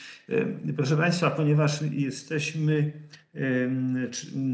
na wykładzie w ramach projektu poświęconego energetyce rozproszonej, no to wydaje mi się, że dobrze by było, żebyśmy zapytali panią prezes, właśnie szukam, bo tu sporo już pytań się pojawiło. Y, pani Agata Stasik pyta, dziękuję za wykład. Jaką widzi Pani rolę dla lokalnych inicjatyw energetycznych, takich jak klastry, spółdzielnie, społeczności energetyczne? Jaki jest Pani zdaniem główny powód tego, że wciąż bariery prawne bardzo utrudniają ich funkcjonowanie. No i oczywiście z tym tematem wiąże się e, problem właśnie, e, e, że podstawą dla tych lokalnych inicjatyw, jeśli chodzi o źródła, no to są źródła niesterowalne, w jaki sposób zapewnić sterowalność, jak, jak zapewnić lokalne bilansowanie i, i tak dalej. Prosiłbym o skomentowanie tego tematu. Znaczy ja myślę, że w tej chwili jakby rola energetyki lokalnej będzie rosła, bo uważam, że y, w sytuacji, w której jesteśmy y, i której są na przykład samorządy, to, y, to mm, po prostu jakby widać też, nie wiem, przepraszam, że to powiem, ale porażkę wielkiego systemu energetycznego, i też tego pryncypium tak zwanej miedzianej płyty, gdzie ceny są wyznaczane gdzieś na jakimś abstrakcyjnym poziomie, na który my nie mamy wpływu. Natomiast te, te, te procesy się toczą niestety zbyt wolno, bo one są bardzo upolitycznione. Zmiany na przykład modelu rynku energii elektrycznej w Unii Europejskiej. No ja y, śledzę te dyskusje, nawet w nich uczestniczę trochę w Brukseli y, i moim zdaniem to w ogóle działa z dużym opóźnieniem, więc ja widzę, przyznaję, że też y, jakiś czas temu widziałam różnego rodzaju ograniczenia dla energetyki lokalnej, związane chociażby właśnie z tym, że, że dalej ta energia y, wytwarzana teoretycznie przez wielkie elektrownie y, odnawialne czy, czy konwencjonalne była tańsza. Natomiast to, co się w tej chwili jakby wywróciło, to nasze wyobrażenie o tym, co jest tanie i co drogie, no i w jakiej są sytuacji właśnie takie pojedyncze biznesy i w przemyśle na przykład. Energetyka lokalna dla mnie to jest właśnie budowanie źródeł odnawialnych, chociażby z linią bezpośrednią, z możliwością bilansowania y, też, y, czyli właśnie być może z magazynem energii, czy w, w trybie, to jest wielka też dyskusja o tym, jak tworzyć mm, linię bezpośrednią i, i, i te y, jakby źródła lokalne. No ale ja właśnie widzę przede wszystkim rolę samorządów, bo uważam, że największą barierą w Polsce jest to, kto ma być koordynatorem tego, tak, tego klastra. Y, to znaczy, kto, gdzie jest ta jednostka? Czy to powinien być podmiot całkowicie prywatny, czy to powinien być podmiot y, jakoś umocowany samorządowo, który będzie zbierał różne możliwości wytwarzania, bo tak jak właśnie Pan powiedział, Panie Sławomirze, że to jest z jednej strony y, to są źródła sam zmienne, a ja uważam, że powinniśmy dążyć do sytuacji, w której będziemy się w stanie bilansować, więc to muszą być różne podmioty. To muszą być prawdopodobnie i jakaś sieć lokalna, i magazyn, i odnawialne źródło. Y, I, i, i to jest y, na pewno dalej ten, ten rozwój jest blokowany przez decydentów, bo bo jest w tle ten dylemat, a co jeśli właśnie ten wielki system zacznie erodować, e, w sposób niekontrolowany zacznie się zwijać, to, e, no to skończy się na tym, że najubożsi odbiorcy będą ponosić koszty tego wielkiego systemu, tych wielkich elektrowni, których później nikt nie potrzebuje. I to jest coś, co blokuje tą dyskusję o energetyce lokalnej, moim zdaniem. Natomiast no, uważam, że ten obecny kryzys będzie to zmieniać, dlatego że no, ja widzę, my, my też prowadzimy taki program Lider dla miast. No, samorządy są po prostu pod ogromną presją rosnących kosztów. Y, no i będą się starały robić wszystko, żeby te koszty zmniejszyć. Też ciepłownie są pod ogromną presją. Y, I, i, i tutaj jest y, dużo możliwości y, zmiany. Natomiast no, faktycznie do tego jest potrzebne, są pewnie potrzebne regulacje. Nie wiem, czy odpowiedziałam na to pytanie, ale chciałam powiedzieć, że w kontekście kryzysu energetycznego, moim zdaniem, energetyka lokalna y, się objawia w, nowej, y, w, nowym, w nowym wydaniu. Tak, to przy okazji Y, odpowiedziała Pani częściowo na pytanie, co z liniami bezpośrednimi i y, cable pooling. No, jeśli chodzi o cable pooling, to na razie y, nie ma co, że tak powiem, wiązać, no, jeśli mam problem z rozwojem energetyki wiatrowej, ale, ale co Pani sądzi o liniach bezpośrednich, o perspektywach dla ich rozwoju? No, może jeszcze o cable poolingu, no bo tu rzeczywiście pracujemy nad analizą też, która w taki dosyć y, techniczny i sieciowy sposób y, zaproponuję rozwiązania w zakresie cable poolingu, bo ja dalej wierzę, że któregoś dnia się jednak ta energetyka wiatrowa odblokuje, no bo trudno mi sobie, naprawdę to jest w ogóle coś nie, niewiarygodnego. Ja, ja po prostu nie wierzę w to, że dalej można blokować energetykę wiatrową w tej sytuacji, w której jesteśmy wobec problemów y, elektryfikacji przede wszystkim, y, ogrzewania, tego problemu ze zbilansowaniem szczytu zimowego, gdzie elektrownie wiatrowe naprawdę pomogłyby nam y, się zbilansować zimą. Więc dla mnie to jest naprawdę coś niewiarygodnego, przyznaję.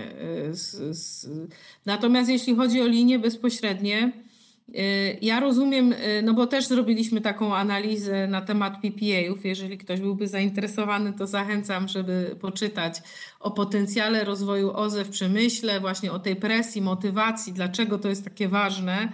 No i linia bezpośrednia tam się jawi no, jako rozwiązanie na te problemy sieciowe, prawda? No bo w tej chwili no to to jest coś, co jakby jest takim nisko wiszącym owocem, po który ten przemysł nie może sięgnąć, bo po prostu państwo się boi pozwolić na linię bezpośrednią w rozumieniu też, no właśnie znowu współdzielenia tych kosztów systemów. I, i to jest no takie po prostu, no nic się nie da, tak? No wszędzie, gdzie nie spojrzeć, to jest problem i będziemy tak się po prostu tylko czekać, aż rzeczywiście ten Putin nas tutaj rozjedzie swoim szantażem energetycznym. Więc no ja uważam, rozumiem, że nie można pozwolić w tej chwili na to, żeby wyjąć w ogóle jakby OZE z kosztów jakichkolwiek opłat sieciowych, ale moim zdaniem po pierwsze można to zrobić nawet w taki sposób, że dla zachęty powiedzieć, że przez 3 lata albo 5 lat nie płacicie, a później płacicie te koszty. I, no tylko oczywiście by trzeba było powiedzieć według, jakiego, według jakich zasad i to jest jedna z metod, a druga z metod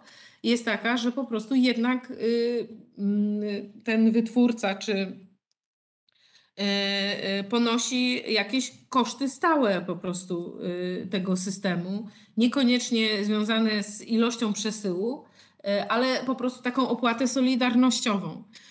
I moim zdaniem, ja, ja, śledzę ten temat. No cieszę się, że premier za, zaproponował już chyba dwa tygodnie temu, że mają być te linie bezpośrednie i że to, no bo ja uważam, że coś przemysłowi trzeba dać. No w sytuacji, w której obserwujemy tak bezprecedensowe wzrosty kosztów i właśnie to liczenie śladu węglowego od 2023 roku wchodzi i, i będą ten Carbon Disclosure Project i, i przemysł będzie musiał pokazywać, że, że po prostu to, to, że jaki jest ślad węglowy z tej naszej produkcji towarów, no to po prostu nam ten przemysł zacznie znikać jak, jak bańki mydlane w przyszłym roku. No, trudno i, i, i, nie może państwo zostawić na lodzie po prostu przemysłu i, i jakby tylko skupiać się na wsparciu gospodarstw domowych.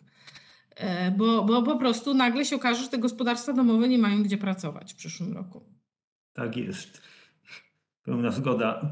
Z pytań bardziej szczegółowych pytanie o bilansowanie sieci z wykorzystaniem magazynów energii, czyli jak Pani widzi potencjał magazynów energii w tym kontekście? No, ma, to jest bardzo szerokie pytanie, bo no, co do zasady oczywiście magazyny mają swoją rolę do odegrania. Yy, uważam, że z perspektywy wielkiego systemu no, najważniejsze są raczej wielkoskalowe rozwiązania, no bo mówimy o takich właśnie bilansowaniu na, na, na dużą skalę odnawialnych źródeł energii, czyli takim zasobie, który raczej jest w dyspozycji operatora systemu, no bo mam wrażenie, że w tej chwili jakby rozwój OZE też jest blokowany właśnie przez OSP, OSD bardziej. Ja mam jakieś takie, no ale nie mamy tutaj akurat jeszcze przyznaję głębszej analizy na ten temat, ale mam takie raczej przemyślenia, że te małe przydomowe magazyny energii no niekoniecznie rozwiążą te duże problemy systemu energetycznego, czyli nawet nie wiem, no, wydłużenie czasu pracy, czy, czy właśnie zmniejszenie zużycia o 2-3 godziny, co może zrobić taki mały magazyn, jest po prostu no, nie, nie rozwiąże problemu, a jest relatywnie drogie. No, to, co my proponujemy, to w, w ogóle nie ma takiego segmentu rynku, z którego by się opłacało w tej chwili budować magazyny. I to jest największy problem. E, Operator systemu przesyłowego nawet się odgrażał, że sam zacznie budować te magazyny, bo nikt ich nie chce budować. No ale dlaczego ktoś ma je budować, jak nie widzi żadnego e, modelu ich finansowania? Nie ma usług systemowych, więc e, czy, czy w bardzo niewielkim zakresie, więc po prostu nie ma stopy zwrotu. No, dla mnie jest sytuacja, w której operator systemu przesyłowego sam zaczyna budować magazyny w ogóle własnymi rękami wręcz, no to jest jakiś absurd e, bo, e, bo, bo to już jest jaka, jakaś porażka. Mm, Więc to, co my proponowaliśmy właśnie w zeszłym roku w tej analizie, żeby stworzyć możliwości włączenia się magazynów do e, rynku mocy. E, Ale tam musiałyby się dokonać zmiany e, w kryteriach wejścia jednostek do rynku mocy. Czyli przede wszystkim tam jest czas rozładowania, załadowania, dyspozycyjności. Tam są bardzo konkretne parametry. Jeżeli by ktoś był zainteresowany, to y, polecam tą analizę z ubiegłego roku, chyba z września, właśnie o czystym rynku mocy, bo, bo ja uważam, że, że to jest jakby low hanging fruit, czyli najniższy wiszący owoc, żeby stworzyć możliwości budowy magazynów y, w rynku mocy. Były takie zgłoszenia, były już, y, y, magazyny się certyfikowały tam w ramach rynku mocy, ale w końcu się nie objawiły, bo dalej to jest za dużo ryzyk jest. Kary w rynku mocy są tak wysokie, że jeżeli na przykład magazyn się akurat rozładuje, a zostanie wezwany, bo, bo właśnie te parametry są dostosowane moim zdaniem pod duże jednostki konwencjonalne, a nie pod magazyny. I nie, nie widać, y, ta specyfika magazynów się tam nie objawia, ale to byłby najszybszy sposób, żeby zacząć budować magazyny w Polsce. Tak, no, y, y, pani y, intuicja y, y, się potwierdza w pewnym sensie. Prowadziliśmy takie analizy razem z Polskim Stowarzyszeniem Magazynowa- Magazynowania Energii. Y, Tam był podział y, magazynów na magazyny klasy prosumenckiej i przemysłowej wielkoskalowej. Jeśli chodzi o potencjał, jaki rynek tutaj szacuje, to do roku 2040, jeśli chodzi o klasy, magazyn klasy prosumenckiej, to około 8 gigawatogodzin pojemności, a y, te y, wielkoskalowe 40, tysię- y, 40 ym, gigawatogodzin. Także widać, że y, rzeczywiście tak y, y, rynek też to czuje.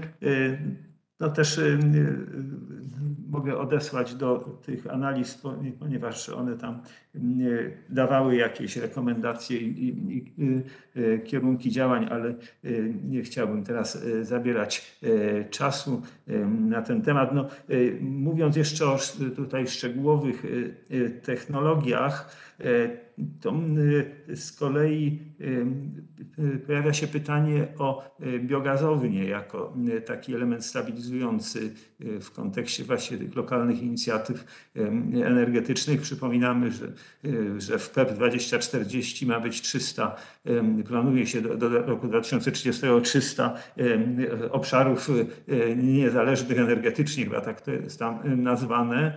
No, akurat to się zbiega z hasłem biogazownia w każdym powiecie.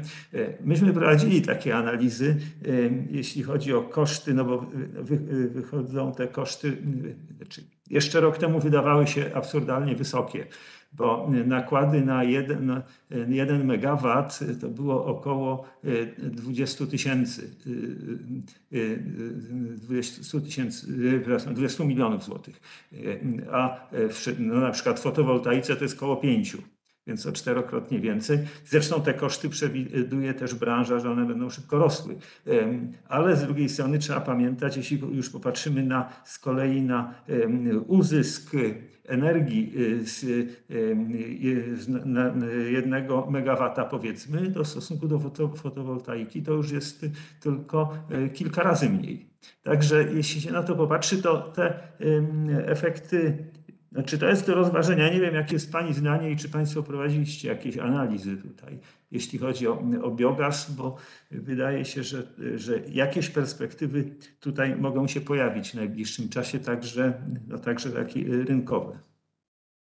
No ja, ja też myślę, że biogaz y, znowu y, y, nabywa nowego kontekstu. No problemem jest, czyli tego właśnie kryzysu plus moim zdaniem rosnącej roli tych y, lokalnych, y, lokalnej energetyki. No problemem y, biogazowni jest, tak jak ja to rozumiem, chociaż właśnie się zastanawiamy, czy nie zająć się tym tematem w przyszłym roku bardziej intensywnie, jest też to, jest jakby konstrukcja systemu wsparcia aukcyjnego, który nie jest dobry dla biogazowni, dlatego że tutaj zawsze jest jakby ten koszt zmienny w postaci paliwa. Moim zdaniem system aukcyjny jest dostosowany do wsparcia odnawialnych źródeł jak wiatr, wiatrowych i słonecznych, czyli o zerowych kosztach zmiennych, a nie y, biogazowni, gdzie ten substrat y, i problem y, i ryzykiem zawsze jest zaopatrzenie w lokalny substrat i jego, jego podaż, cena i tak dalej. Więc ja myślę, że biogazownie będą miały sens w kontekście mm, jakby tych dużych, mniejszych takich jednostek, biogazowni lokalnych. Tak. I to jest po prostu przede wszystkim temat. Przepraszam na chwileczkę, tylko Przepraszam, bo tutaj y, domownicy akurat weszli do, do domu i chciałam tylko powiedzieć, żeby nie przeszkadzali przez chwilę. Także ja widzę, że, że biogazownie, no ja pamiętam te biogazownie w każdej gminie, teraz mówimy w każdej powiecie, czyli rozumiem, że już nam poziom ambicji spada, później będzie w każdej województwie. Y, no ale no, tutaj po prostu moim zdaniem cały czas brakuje takich regulacji, które byłyby Y, zachęcające do, y, do konstrukcji biogazu, biorąc pod uwagę specyfikę tego przedsięwzięcia i ryzyka z tym związane. Tak, no zwłaszcza, że y, y, nawet szacunki co do dostępności substratu y, są rozstrzelone o kilkaset procent. Także no to, właśnie, dokładnie. Tutaj brakuje wiedzy, tu, się zgadzam. Może przejdę do kolejnego pytania. Pan Michał Jabłoński Y, pisze, jak pani wskazała, potrzebujemy co najmniej kilkanaście gigawatów mocy, ale mocy przede wszystkim sterowalnej. Atom da około 10% raczej mało elastycznej mocy y, gdzieś do 2035 roku. Jakie technologie powinny być wdrażane, żeby zdążyć? To jest coś, co odnosi się do pani przedostatniego slajdu. Tak, znaczy ja, ja nie powiedziałam, że przede wszystkim, y, tylko y, właśnie wprost przeciwnie, moim zdaniem, no jakby ambitny rozwój OZE, a przede wszystkim a źródła konwencjonalne jako uzupełnienie tej mocy, ale oczywiście w kontekście też takim, że pewne moce węglowe odstawiamy, y, więc to tylko tak dla, dla jakby wyjaśnienia, bo ja, ja też nie uważam, że to jest tak, że musimy jeden do jednego zastępować jednostki konwencjonalne czy, czy sterowalne, że to wprost, wprost przeciwnie, że w ogóle jakby tak zwany baseload w przyszłości będzie miał inne funkcje, że, ale to już nie, nie wchodząc w taką akademicką dyskusję, no ja, ja przede wszystkim uważam, że jakby teraz rozwiązaniem to są y, y, przede wszystkim y, są jednostki kogeneracyjne, czyli efektywne wykorzystanie paliwa. Polska ma największy system ciepłowniczy w Europie i musi pomyśleć o tym, jak włączyć bardziej aktywnie, bo w tej chwili te jednostki kogeneracyjne moim zdaniem w ograniczonym stopniu biorą udział w pracy systemu elektroenergetycznego i to się powinno zmienić. Więc jeżeli już jednostki gazowe, to, to przede wszystkim kogeneracja. W jakim stopniu pewnie wydłużenie pracy y, w niewielkim stopniu jednostek węglowych, ale bardziej do tego, żeby pokrywać szczytowe zapotrzebowanie, czyli takie, czyli nie po to, żeby one pracowały w podstawie, bo tutaj będą się przekładać na wysokie koszty y, emisji i, i tak dalej, tylko po prostu, żeby były w razie czego do w jakimś trybie krótkim do odpalenia. Właśnie i to jest drugi element. A trzeci element no, to jest zmiana sposobu funkcjonowania rynku mocy w stronę czystego rynku mocy, który uważam, czyli mm, w sytuacji takiej, że tam się pojawiają i magazyny, i DSR, czyli redukcja popytu i tego typu rozwiązania, które będą zwiększać bezpieczeństwo energetyczne systemu. No i oczywiście później przede wszystkim budowa elektrowni wiatrowych, bo my będziemy mieli, teraz mieliśmy problem ze szczytowym zapotrzebowaniem latem, a teraz będziemy mieli problem ze szczytowym zapotrzebowaniem zimą i tutaj elektrownie wiatrowe no, są po prostu niezbędne. Tak jest. Wracając do y, przeglądu technologii, mam teraz pytanie, y, które zadaje pan Adam. Czy y, rozwój i budowa nowych elektrowni szczytowo-pompowych Pani zdaniem ma szansę w aktualnej sytuacji? No to, to jest dobre pytanie. No a dlaczego nie? Znaczy, bo ja uważam, że dalej jakby to, to wie pan, przyznaję, że to jest jeden z tematów, w którym y, nie miałam jakichś głębszych analiz y, y, i dyskusji, ale uważam, że no jeżeli priorytetem jest elastyczność systemu, to dalej powinniśmy inwestować w elektrownie szczytowo-pompowe. Y, Oczywiście nie, nie mam tutaj przemyśleń co do technologii. Ostatnio słyszałam y, o takim pomyśle na elektrownię szczytową pompową po Bełchatowie. Y, Tam Tak. miałam okazję uczestniczenia w jakichś dyskusjach w Bełchatowie, więc tam się pojawił ten pomysł. Ale ja myślę, że no wszystkie opcje. Słucham? Pięć lat temu już ten pomysł. Tak, a no to ja od dwóch lat dopiero słyszę, ale może za późno zaczęłam jeździć do Bełchatowa. Y, Ale, ale w każdym razie, no moim zdaniem, wszystko, co się wiąże z poprawą elastyczności, zwiększa bezpieczeństwo energetyczne naszego systemu. Y, Nie mam takich analiz, żeby określić w jakich miejscach, bo to by trzeba było zobaczyć bardziej w, sieci, w sieciowych lokalizacjach. Y, I, no i później właśnie jaki byłby wymiar tej, tej elektrowni. No na pewno problemem jest, są elektrownie wodne jako takie na rzekach, y, ale to nie są szczytowo-pompowe, tylko właśnie, y, no bo tu jeśli chodzi o piętrzenia, ale to, to, to jest inna bajka, no bo to są elektrownie wodne i piętrzenia na rzekach moim zdaniem ryzykowny temat i nie za bardzo, y, bo ze względu na obniżający się poziom wód i też jakby wyzwanie związane no, jakby z grodzeniem rzek w ogóle i ograniczeniem przepływu nie wiem, fauny i, i jakichś barier takich przyrodniczych. Natomiast no, szczytowo-pompowe to jak najbardziej myślę, że to jest potrzebne. Tak, no tutaj akurat y, potencjał elektrowni wodnych y, y, w Polsce jest ograniczony. Y, y, Jeśli nie miałyby zaburzać flory i fauny y, w rzekach, no to, to są te elektrownie przepływowe też y, się stosuje, ale to wszystko jest y, rzeczywiście marginalne. Tutaj ja rozumiem, że y, pytanie dotyczyło tych y, y, dużych y, jednostek y, na y, y, budowanych jakichś y, y, y, na budowanych y, odrębnie zbiornikach. Ale to y, rzeczywiście y, takie plany z tego, co y, się słyszy, y, y, są, no ale to słyszy się od lat i jakoś nie bardzo y, się te sprawy przebijają do przodu. Mam teraz tutaj pytanie od pana Adama. Y, Wiele informacji na temat dostosowania sieci do pracy z OZE. Y, y, OSD co roku dokonują aktualizacji planu rozwoju sieci i URE taki plan akceptuje. Y, Rok do roku modernizujemy sieć, a w dalszym ciągu oczekiwanych efektów brak. Chyba coś w planowaniu centralnym nam szwankuje. Komisja Europejska już nie chce wspierać takich inicjatyw, ponieważ Polska od 10 lat dostosowuje sieć, a raczej przejada dotacje na tę inicjatywę. Efektów brak. Czy może Pani to skomentować? No, rzeczywiście cały czas mam wrażenie też, że OSD to y, są tak troszeczkę poza jakby realiami y, dużego systemu. No i to, to się też, czy, czy wyzwaniami związanymi z bilansowaniem.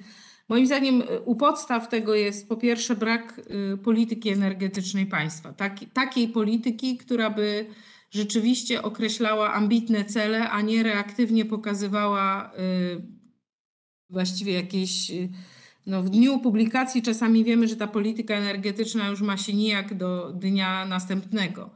No i, i z tego, co ja rozmawiam z, z OSD, no to słyszę, że no oni nie mają, jeżeli polityka energetyczna państwa nie przewiduje, że to OZE będzie się rozwijać, albo że pompy ciepła będą się rozwijać, albo że samochody elektryczne będą się rozwijać, to, to dlaczego oni mają ponosić inwestycje w rozwój sieci?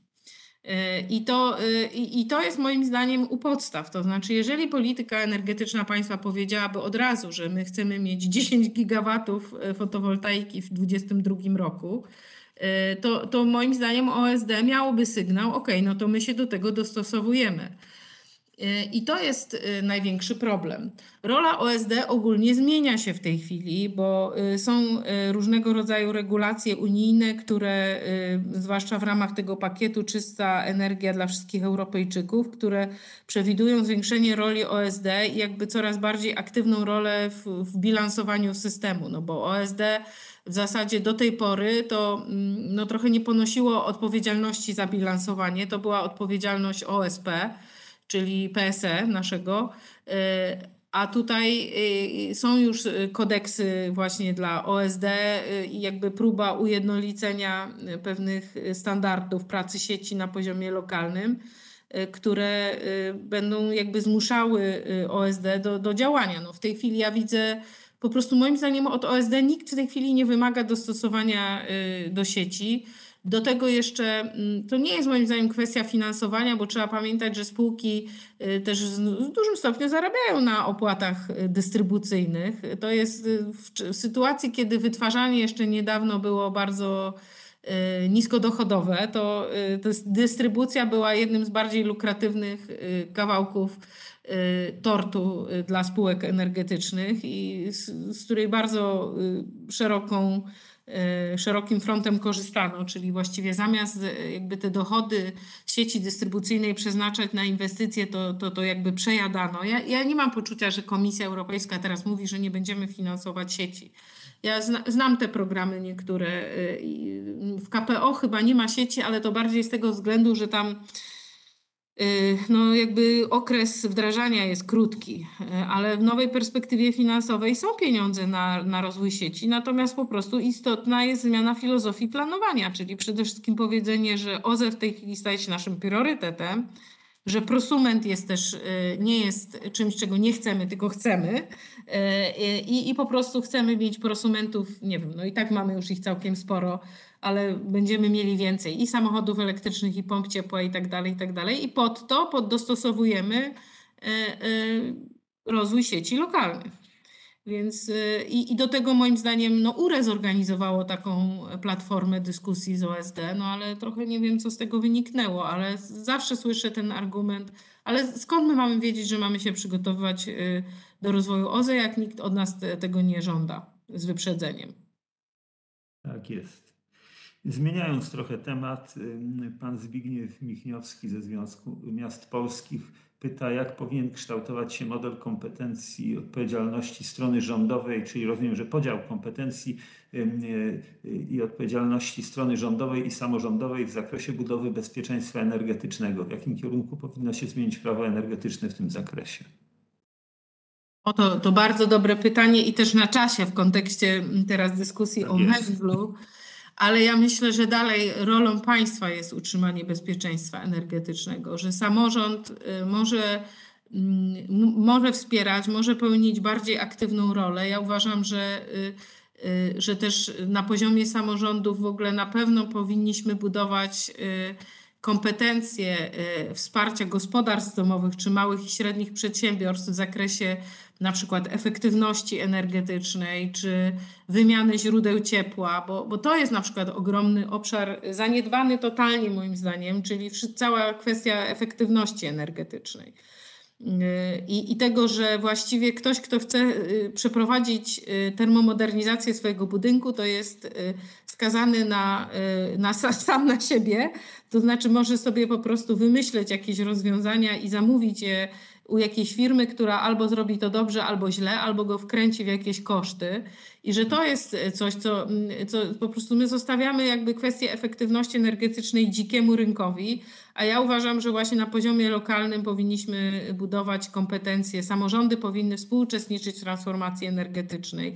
Powinna zostać stworzona sieć takich doradców, ale z prawdziwego zdrażenia, certyfikowanych, których kompetencje są sprawdzane mm, i, i, i samorządy muszą pełnić jakąś rolę e, bardziej aktywną i w finansowaniu, w doradztwie technicznym, I, e, no i właśnie to, o czym rozmawialiśmy właśnie w, w budowie takich wspólnot energetycznych, bo ja myślę też, że jeżeli chcemy osiągać neutralność klimatyczną i mamy, mamy problem odpadów, transportu, e, ciepła, elektroenergetyki, to, to my sobie nie poradzimy w takim siermiężnym, państwie, w którym też w dużym stopniu takie decyzje są bardzo upolitycznione, a, a że na tym poziomie lokalnym ja wierzę w to, że my byśmy w stanie byli y, znacznie ograniczyć koszty właśnie składowania odpadów, zagospodarowania ścieków, gdybyśmy y, mieli y, jakby gdyby te, te kompetencje sprawdzać na poziomie lokalnym, bo też każda gmina jest inna i,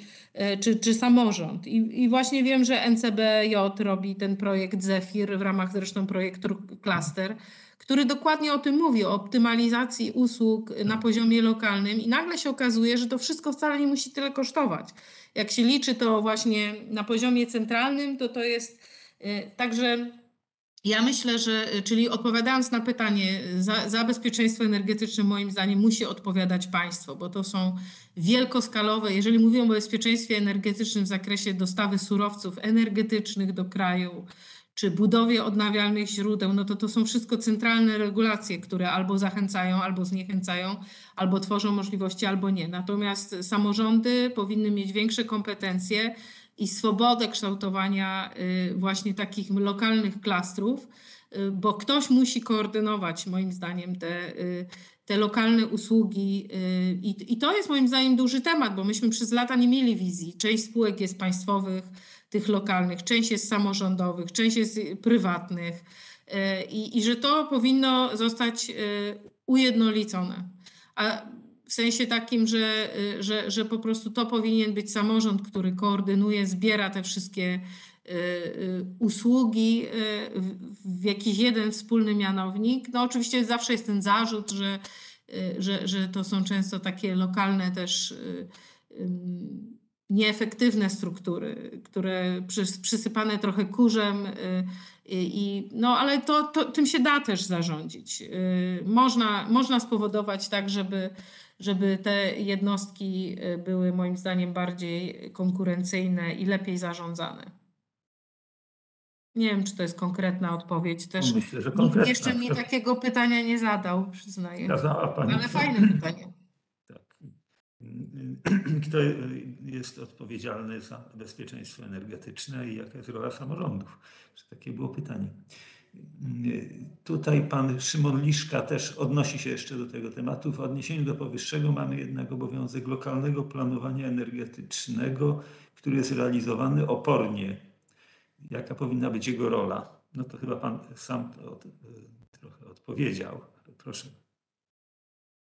Znaczy, bo, bo tu, tu, i trochę ja myślę, że już odpowiedziałam y, przed chwilą, że no moim zdaniem y, rola gmin, samorządów musi się zwiększyć w tym zakresie, no bo w tej chwili to są wiadomo jakieś abstrakcyjne dokumenty, które zbierają jakieś dane, wrzucają do jednego worka i powstaje analiza, odkładamy ją na półkę i nic się później z tym nie dzieje. E, I, i to po prostu, no, myślę, że to jakby się to mogło zmienić. To znaczy, gdybyśmy mieli możliwość też, bo ludzie też, y, sama koncepcja dla koncepcji, że samorząd będzie tym zarządzać, y, moim zdaniem nie ma sensu.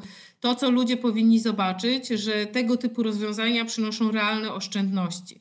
Czyli ja mogę sobie wyobrazić, że właśnie gdybyśmy byli w stanie udowodnić, że wprowadzenie takich działań, nie wiem, zatrudnienie Y, ekspertów do y, efektywności energetycznej, inne y, zagospodarowanie lokalne odpadów, RDF-u i tak dalej, przynosi realne korzyści i jakby, które skutkują tym, że że ludzie widzą niższe rachunki, to to byłby najlepszy driver do, do tego typu zmian.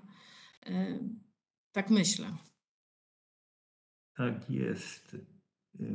Na inne pytania Pani już chyba odpowiedziała częściowo, a może całkowicie nawet. Także ja pozwolę sobie teraz wrócić do kroku pierwszego, o którym Pani wspomniała, czyli wzmocnienie planowania i procesów de decyzyjnych. Jest tu kilka postulatów, mianowicie wicepremier do spraw transformacji, reforma i wzmocnienie instytucji wdrażających, podział kompetencji między ministerstwami. Mogłaby Pani skomentować ten temat, jak, jak Pani to widzi? Czyli byłby wicepremier do spraw transformacji, a jaka, jaki byłby podział kompetencji między ministerstwami? Jakie ministerstwa? według Pani? Znaczy właśnie ten wicepremier, to sama nie wiem, czy to zawsze rozwiązuje temat, to znaczy, bo to wszystko zależy od tego, co ta osoba ma w głowie i jakie cele chce realizować. E, Przede wszystkim dla mnie jakby kwestie energetyczne w tej chwili stają się najbardziej palącymi e, w kontekście rozwoju naszego kraju e, i, jakby zależności czy niezależności energetycznej, rozwoju przemysłu, czystości powietrza, ochrony klimatu i tak dalej. No i nie wiem, czy można to bardziej widzieć niż w tym roku. Bo my jakby to wiedzieliśmy już od dawna, że jeżeli Polska nie rozwiąże tematu efektywnej transformacji i takiego y, też y, jakby no, procesu odchodzenia od węgla, który właśnie się nie opiera tylko na odchodzeniu od węgla, ale włączaniu nowych źródeł, no to będziemy mieli duży niepokój. Więc y, i tu chodzi bardziej o samą rangę i no ja w tej chwili widzę to, co mnie dotyka, to po prostu absolutnie zero y, odpowiedzialności w instytucjach państwowych za całość y, energetyki. To znaczy nie wiem, kto w tej chwili odpowiada za bezpieczeństwo energetyczne naszego kraju. Kto się czuje odpowiedzialny? No PSE się czuje odpowiedzialne pewnie za zbilansowanie dostaw energii elektrycznej, ale w zakresie na przykład, nie wiem, tego, co się dzieje po stronie węgla, gazu, czy to jest PGNiG, czy to jest Ministerstwo Aktywów Państwowych, czy to jest Ministerstwo Klimatu, czy premier, czy kto. Nie wiem, po prostu nie wiem. I moim zdaniem, a, a jak tylko się coś nie udaje, to, y, to, to, to się pojawia od razu coś takiego jak właśnie to nie my, to, to, to oni, to Putin, to Bruksela, to, y, to jeszcze ktoś inny. I to jest niebezpieczne, bo jeżeli y, brakuje takiego wzięcia odpowiedzialności, no to ja, ja mogę sobie wyobrazić, że my potrzebujemy ministerstwa, e, powiedzmy, transformacji energetycznej, w którym byłyby i kwestie związane z y, ochroną powietrza, z energetyką. Musi to być powiązane z, y, y, aktyw, znaczy właśnie z właścicielstwem nad spółkami energetycznymi. No bo w tej chwili to jest, no moim zdaniem, jakby regulacje sobie, a polityka spółek energetycznych sobie ale nie wiem, czy to się wiąże bezpośrednio z tym, że, że to jest zły podział, a na ile to się wiąże właśnie z, jakby z taką konkurencją wewnątrz rządu e, i zupełnie inną wizją tego, co Polska powinna realizować. Czyli po prostu tam jest wiele różnych wizji, które się wzajemnie wykluczają. To jest tak jakby największa w tej chwili dyskusja o tym, to odbywa się moim zdaniem wewnątrz rządu. To znaczy, ja jak już dookoła widzę, to coraz jest jednolita opinia, że Polska powinna się transformować. Natomiast problemem jest y, to, żeby wziąć odpowiedzialność za to, powiedzieć, że czasami coś będzie też y, niezbyt popularne y, politycznie, ale będziemy też tworzyć rozwiązania, które będą wspierać, no, na, nawet ten temat ubóstwa energetycznego, moim zdaniem, który zawsze gdzieś był pokazywany jako bariera transformacji, że nie możemy się transformować, bo albo nie możemy odchodzić od węgla w gospodarstwach domowych, bo to po prostu węgiel jest tani, krajowy i tak dalej. Później się okazuje, że to ani nie tani, ani nie krajowy, że rosyjski i że to pokazuje, jak płaska jest ta dyskusja, jak też jest nieprawdziwa. Y, I, i, I z tym moim zdaniem po prostu no, my musimy sobie poradzić. No, a jedynie ja wierzę, że politycy, no też y, każdy polityk bez względu na to, czy jest opozycji, czy rządowy, to mniej więcej y, ma podobne wyzwania. I jeżeli nie będzie miał za sobą ludzi, którzy mu przygotują dobre koncepcje reformy, dane, to po prostu to ta transformacja bez względu na to, kto będzie rządził, będzie wyglądała cały czas tak samo. A wiem to też z perspektywy takiej, że właśnie 10 lat temu pracowałam też w instytucjach centralnych i to było dokładnie tak samo, że nawet jeśli człowiek chciał jakąś reformę, zmianę wprowadzić, no to po prostu naprawdę to było bardzo trudne. Bo, bo po prostu nie było, no bo, bo było ryzyko, że to się po prostu nie powiedzie. A ubóstwo energetyczne właśnie teraz widzimy, że to wsparcie będzie na poziomie 100 miliardów złotych pewnie i to będzie kwestia konsumpcji, wspierania konsumpcji przez 6 miesięcy. Później będzie ten sam problem. I nagle się okazuje, że my po prostu tak wielką ławą wywalamy pieniądze, nie rozwiązując żadnego problemu właściwie, bo no może w jakimś stopniu uspokajając nastroje społeczne, ale, ale po prostu program Czyste Powietrze kosztował 3,5 miliarda złotych przez 5 lat. A teraz wydajemy 100 miliardów E, I w moim zdaniem w kwietniu będziemy dokładnie w tej samej sytuacji, w której jesteśmy, czyli będziemy szukać kolejnych 100 miliardów na dopłacanie do paliw kopalnych, na których na końcu będą tak naprawdę no, duży, duże spółki zarabiać i handlarze surowcami energetycznymi, a ludzie będą mieli kolejnej zimy ten sam problem, który mają. Jeżeli się nie pokaże, jaka jest strategia długofalowa i, i jaki jest kierunek. I to takie mam przemyślenia. Ale już chyba musimy kończyć, bo już jesteśmy po Jasne. czasie. Bo ludzie nam pouciekają, już widać, że zmniejsza się liczba. Czyli wniosek taki, że potrzebna jest jednak prawdziwa strategia i y, potrzebny jest y, y, system y, także jeśli chodzi o, rząd, administrację centralną, y, jednolity, zerwanie y, z silosowością i z rozmyciem podejmowania decyzji. No ale jak to zrobić, to chyba już przekracza y, y, nasze y, dzisiejsze możliwości naszej dzisiejszej dyskusji. Rzeczywiście chyba, y, no jeszcze ma, widzę jedno pytanie, to może tak szybko zadam to ostatnie pytanie, odczytam. Czy prowadzicie Państwo analizy rozmowy, wyznaczacie kierunki rozwoju dla mikrosieci niskiego napięcia jako przyszłościowych struktur sieci elektroenergetycznych, na przykład w ramach KE, inicjatyw lokalnych? No niestety jeszcze nie. W ogóle kwestie sieci są dla nas dużym wyzwaniem. Będziemy się starali zbudować taki program w ogóle w przyszłym roku. No jest to bardzo trudny temat, dlatego że przede wszystkim największą barierą jest dostęp do danych y, i danych sieciowych. To jest y, po prostu, nie ma takich, y, my, my mamy możliwość zatrudnienia jakichś firm doradczych, ale w kwestii sieci to po prostu naprawdę jest bardzo trudna sytuacja. Więc będziemy się starali budować w przyszłym roku taki program, który no zobaczymy, Tak, czy że nam tu, się tu raczej chodzi o, o mikrosieci jak, jako techniczną podstawę dla, e, no na przykład dla klastrów energii i tak dalej, czyli e, dla lokalnego bilansowania, przejścia na wyspowość, ale to, to, to rozumiemy, że to o tym No ale to są też kwestie zbilansowania, to znaczy wiem, że to nie jest jakby kwestia sieci w ogóle może OSD nawet, tylko, tylko że to dalej są, są kwestie sieciowe, które są na razie poza naszym y, takim stricte. Zrobiliśmy taką analizę o, o sieci, o rozwoju sieci, ale to bardziej dystrybucyjnych właśnie w kontekście rozwoju elektromobilności i pomp ciepła. Była to ciekawa analiza, bo ona pokazuje, że w miastach jest większy problem, większych niż w małych miejscowościach. E, ale m, to, to był jeden z ciekawszych wniosków tej analizy. Natomiast e, dalej uważam, że trzeba, no my powinniśmy też więcej robić w tym zakresie. Jasne.